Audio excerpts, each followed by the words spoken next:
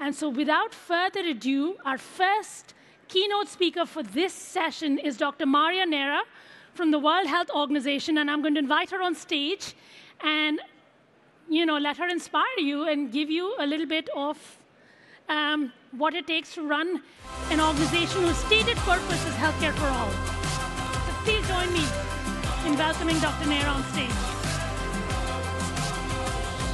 I will leave you. Thank you. Wonderful. Thank you. Thank you very much. And um, they told me not to move too much, and this is an impossible mission for me. Uh, but anyway, if you see me moving too much, please ask me to stay. It's really a privilege and uh, to see on a place that is called Heroes of Change, because this is exactly what I am trying to do every single day. And all of us who work on public health, this is exactly what we plan every morning. How can I become a hero of change? Obviously, the positive change, not any change and at any price. Let me maybe start. Uh, I, I am supposed to make the connections for you between climate change and human health. And it looks like, even if for many years we have been talking about climate change and health, we have been saying that the climate crisis is a health crisis, I think still this connection between our health and the climatic conditions, it takes a little difficulty to make uh, uh, everybody in agreement. So let me maybe start by, by setting the scene on a very, very simple way. Imagine a mosquito. Everybody knows a mosquito. Don't tell me that you don't have mosquitoes in France, even in Paris. I've been living here and I can testify that there are horrible mosquitoes in summertime. Well, imagine this mosquito called Anopheles and um, his job is to uh, go find a female and make sure that this female will transmit malaria. Imagine another mosquito transmitting dengue.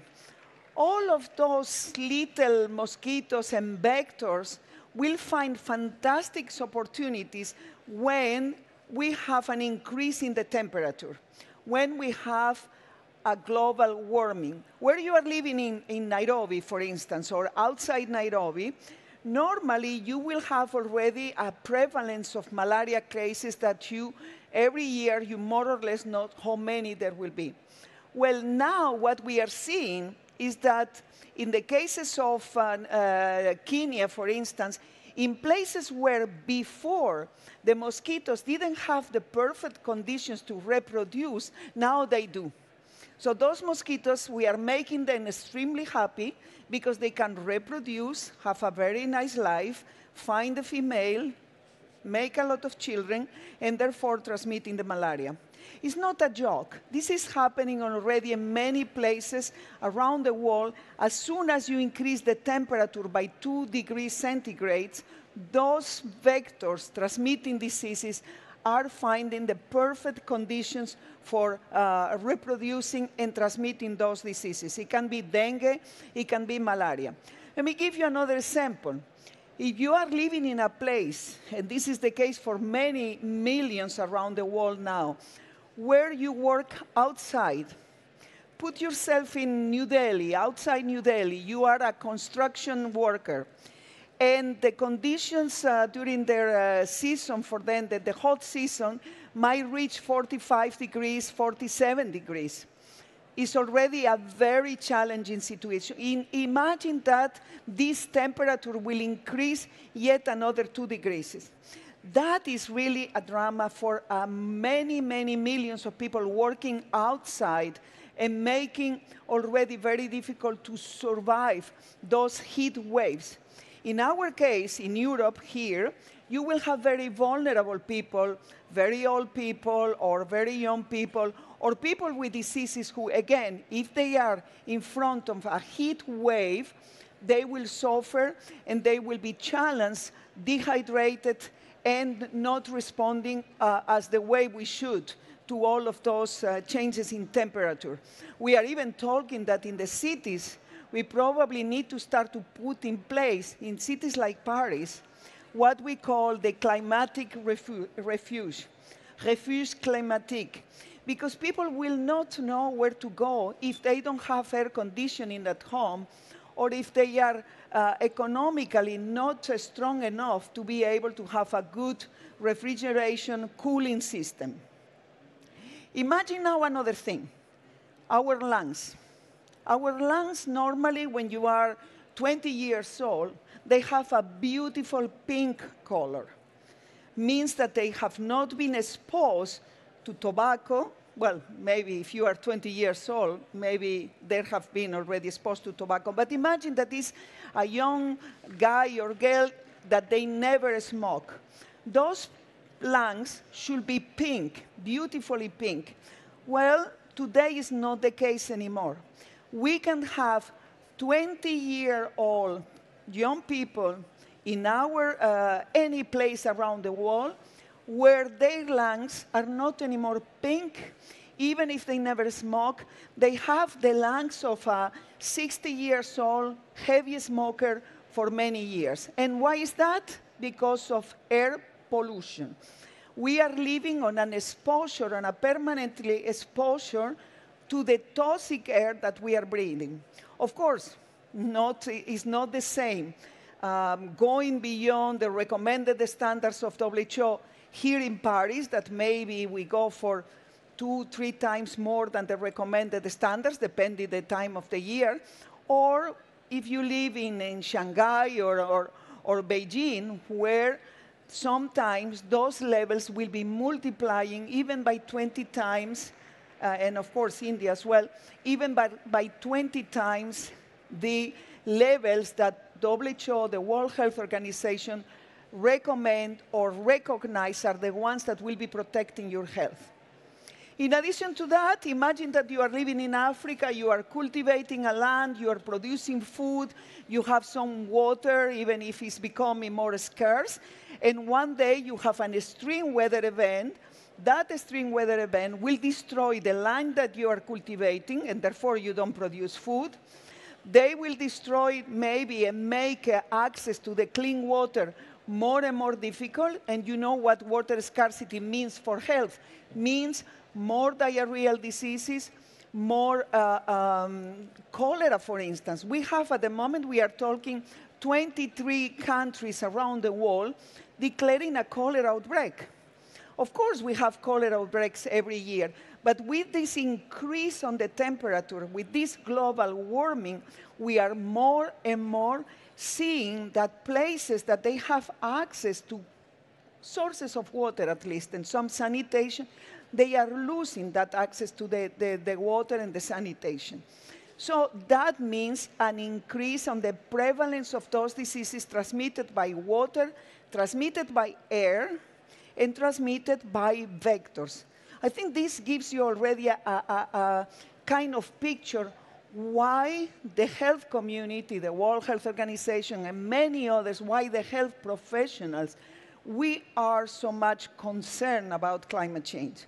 For us, it's not just the question that the polar bears, which are lovely and adorable, who doesn't like a polar bear, but we are concerned about our lungs. We are concerned about our brain because that toxic air that is resulting toxic because we are using the combustion of fossil fuels. And that combustion of fossil fuels is resulting on elevating the greenhouse gases emissions, but at the same time, they are contributing to this air pollution.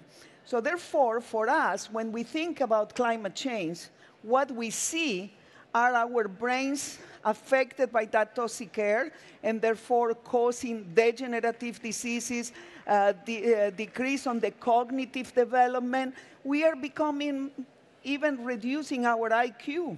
You know, the toxicity of the air we breathe, if it's very polluted, we now have more and more studies telling us that it's having an, an impact even on our IQ and neurodegenerative uh, diseases like Alzheimer or others. So careful with that because we are joking with our health. The health of our lungs, the health of our brain, and the health of our cardiovascular system, stroke, and many other diseases. This is maybe the negative part, the one that I don't want to be apocalyptic, but uh, if somebody needed to understand why we are so committed and engaged on climate change, this is the reason, because it's touching all the bases for, for, for our health, all the pillars that maintain our health access to food, access to clean water, access to clean air, and of course, the possibility to cultivate, having nutrition, and having a shelter, and not being forced to go for a massive migration, which is happening now in many occasions, and altering as well our mental health. That's the kind of negative picture. But let me now tell you, take you to something a little bit more positive. When I started my, my career as a public health officer, I was in Mozambique and we were having cholera outbreaks very often. So normally what's happened is that the first days when we were starting to have some cholera cases, everybody was going out and saying, there is a cholera outbreak, there is a cholera outbreak. So we were all, there is a cholera outbreak, there is a cholera outbreak. And I learned, it it took me very little, but I learned, it forced by the situation, that you cannot just go outside and say there is a cholera outbreak. You need to go outside and say there is a cholera outbreak, and this is what you have to do. You have to chlorinate the water you drink. And for that, you will have chlorine that will be distributed at this point. So please, citizens that wanted to chlorinate their water, go to this point of distribution. Those are the places where you can have clean water and disinfected already. Please wash your uh, hands with this soap that this will be distributed in this point. Please cook your food. Please make sure that you, uh, if you have symptoms, and those are the symptoms, go to the hospital or go to this place, get rehydrated. I mean, essentially, what you have to do is engage the communities and tell them how can they, how can they be engaged, contributing, and of course, doing something about climate change. So that's why the health community is now working not only at the hospital level. So we don't want just to go to the hospital or healthcare facilities and saying, okay, we need to be ready because we know that we will have an increase in the number of dengue cases or malaria cases or diarrhea or cholera or many other uh, obstructive uh, pulmonary chronic diseases, asthma and lung cancer caused by all of that. We don't want to do only that. We want to go upstream and try to reduce the causes of these type of things and reduce all of this and do what we call in medicine primary prevention, which is the basis of everything. what is the primary prevention on this case? What is the strategy similar to the cholera one? It will be telling the citizens anytime you take the, the, your private car, be aware that you can do much better. You can take a public transport, maybe you can use a bicycle, maybe you can walk, because anytime you take a car, you are contributing to those emissions, particularly if your car is, is using fossil fuels. Anytime you are not recycling, you are as well contributing to a bad waste management, and therefore you are contributing to destroy the environment, to make sure that we have tons, millions of tons of plastics in the water and in, in our fish coming to your body, and then uh, having the situation that we have today, where we find uh, microplastics, even the placenta of the children. But we can tell as well, those citizens, use your vote. Use your vote to influence this politics. There are many things that you can do as an individual. It's clear. You can uh, disseminate the message, you can engage others, you can become vegetarian or at least uh, reduce the meat uh, consumption, you can become uh, much more environmentally friendly on the transport you are using.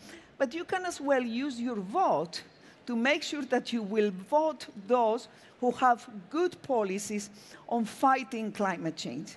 And fighting climate change and air pollution is almost the same. It will be very much about three very important transitions that we all as citizens, we need to push for. The first transition is the transition to sustainable, renewable sources of energy. We need clean sources of energy. There is no reason why we cannot accelerate this transition to solar panels, to, to renewables, and things are happening now. Imagine 10 years ago, uh, uh, they were telling us, no, we need big technology to do that. Today, we are accelerating in this transition. The problem is that we are not accelerating at the speed that the, the, the, the magnitude of the problem will require and not with the ambition that this will require. But it's possible. There is no reason why in Africa, 50% of the healthcare facilities we have at the moment, they don't have electricity in a healthcare facility. So imagine yourself going to the hospital here and uh, l'hôpital uh, Salpêtrière uh, or Saint-Louis Cochin, uh, some of those very nice hospitals here in Paris, and they will tell you, no, sorry, we cannot uh, do surgery because we don't have electricity. This is absolutely unacceptable here, but it's the reality in many places around the world.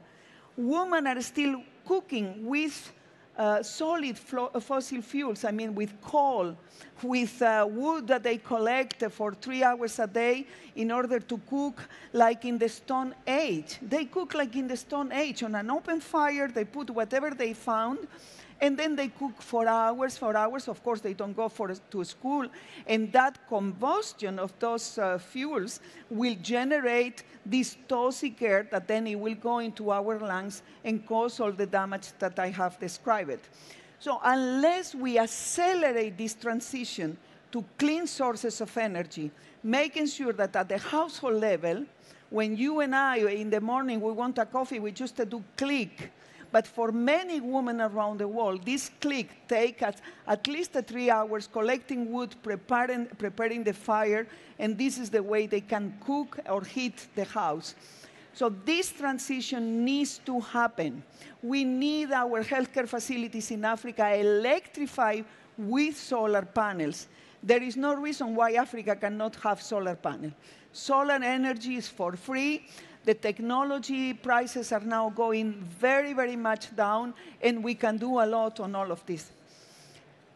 The other transition we need is the one on sustainable food systems. We need to look at the whole chain, how we produce our food, avoiding pesticides, avoiding uh, uh trade that is unnecessary with uh, wildlife animals, for instance, or all of this uh, uh, transport of food from one part of the continent to another, which is as well not contributing to the, the, the, the, healthy and sustainable development we all want.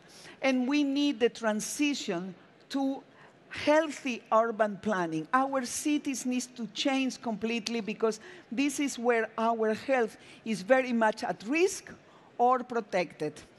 I want to finish with something I want to read for you because I was thinking on these heroes of change, and I was looking at uh, the, the, the fact that we need a revolution here. It's a positive and healthy revolution to change all of these things in the name of our health. And then I look at the definition of revolution, and I thought that it was perfect for this uh, opportunity. In political science, revolution is a rapid, fundamental, and transformation of our societies, state, class, ethnic, or religious structure. In this case, we need to change the structures and making it more sustainable. And then it involves social mobilization efforts to change through non-institutionalized means. So I think this is exactly the point we have here. We have representative of our society that they want this change, and this change is the one that will finally generate and protect all of our health. Thank you very much, and please go for the revolution.